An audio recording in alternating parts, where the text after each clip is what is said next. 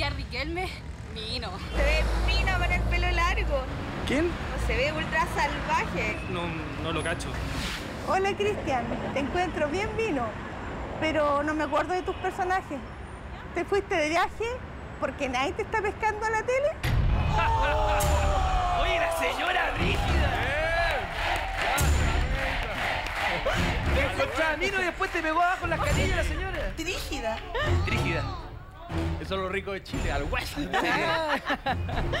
Oye, primero, muchas gracias por la invitación y qué rico estar de vuelta en Chile porque es. bueno, en mi país. Yo echaba mucho de menos volver a Es Chile. muy rico tenerte Yo echaba mucho de menos mi país. Cuando cruzamos la frontera fue algo muy emocionante. Así que feliz en mi, en mi casa, en mi país. ¡Rico! Oye, es que, perdón, para los que no saben, un pequeño paréntesis, Cristian estuvo viajando durante tres años, recorriendo todo. Oye, y no en hoteles, en una motorhome. En una motorhome. En un camper, sí. ¿Qué?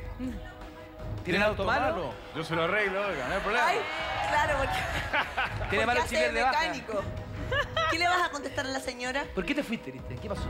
Eh, yo me fui porque no tenía trabajo, estaba muy triste y necesitaba... No, no, no.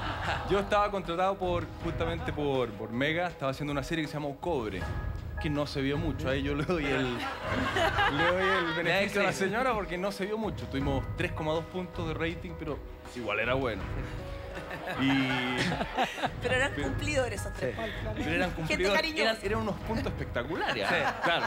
No eran Gente que 20, quería. eran 3, pero espectaculares. Y bueno, yo tenía un sueño hace muchos años, hace por lo menos desde que tenía 12 años, de hacer un, a- a, eh, renunciar a todo lo que tuviera y partir a viajar. Y me casé. Entonces decidí hacer ese sueño. Entonces, en algún punto se me ofrecen otro contrato para quedarme y yo le dije, pucha, estoy entre la espalda y la pared porque por un lado preparé mi viaje hace mucho tiempo, me casé, mi señora quiere irse conmigo, ella de hecho me dijo, ya, pues ¿cuándo? O sea, Qué buena mujer una cosa compartida. Porque además hay que decir, Cristian, que ella viene del mundo de las leyes, que es un mundo que uno Sí. pensaría que es un mundo mucho más cuadrado, más metódico. Y dejar todo e irse a la aventura. y me tiene cortito. ¿Así? Cuando casamos firmé un mamotreto grandote. ¿Es brava tu, tu mujer? Eh, no, Eh, no es eh, brava, eh, pero cuando me eh. muestra los dientes me los muestra. Sí, claro. Está bien.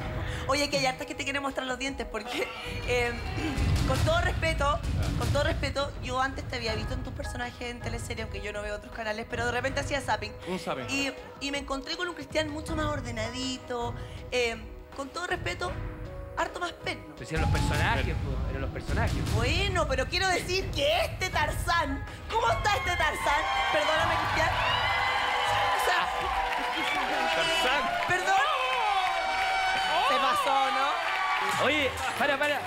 ¿Por qué no te pegáis un grito Tarzán? Pégate un grito Tarzán. Eh, Es que, Algo bueno. ¿sí o no? algo salvaje, un grito Tarzán salvaje. un grito salvaje. Atención, chiquillas, esto es para ustedes. Muchas gracias.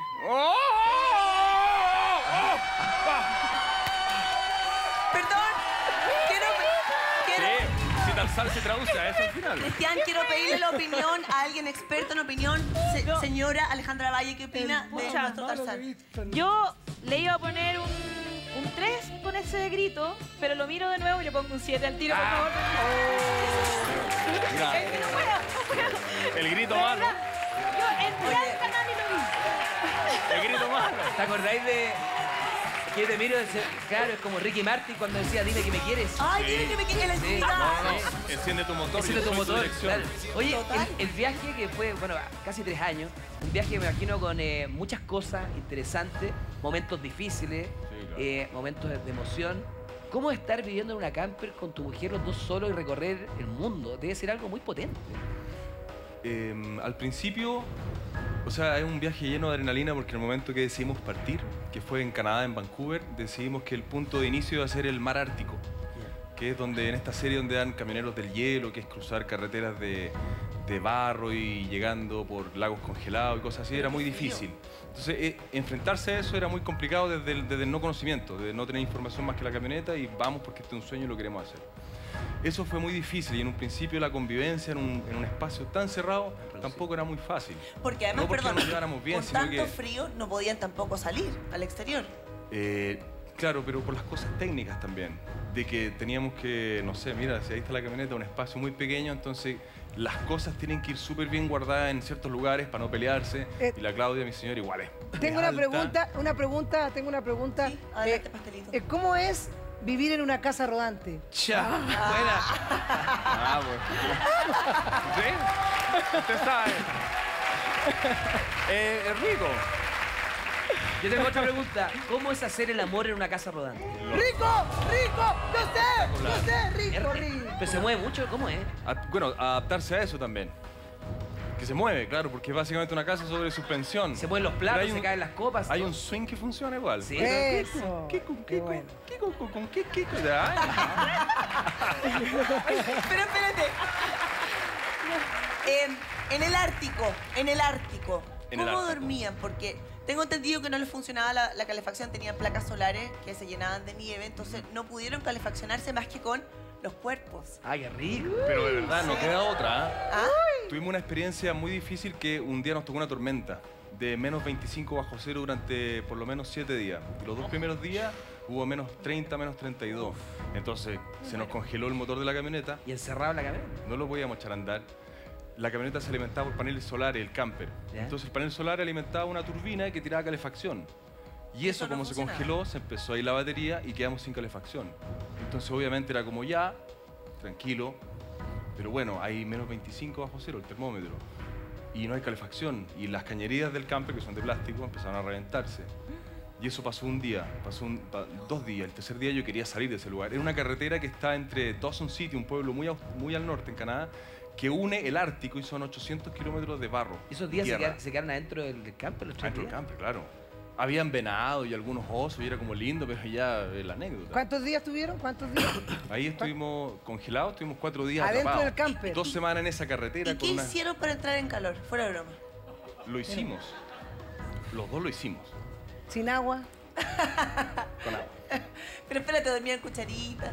Y no, yo me levanto, o sea, dormía honor. cucharita con mucho, con la misma ropa térmica y yo subía cada tres horas a sacar el hielo los paneles solares para que se alimentara la batería y después de cuatro días cuando ya no pasaba ni un auto porque una carretera Cuando muy estaba hediondo ya. norte, Claro.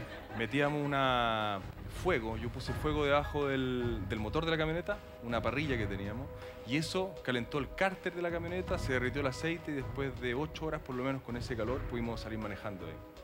Pero fue una experiencia igual Eso. difícil. Difícil. Pero bonita. Yendo a la pregunta, fue sí. bonito. Vamos a ver si la gente te creyó Cristian, atención. Ah. El renacido. El claro. renacido, ¿verdad? Bien.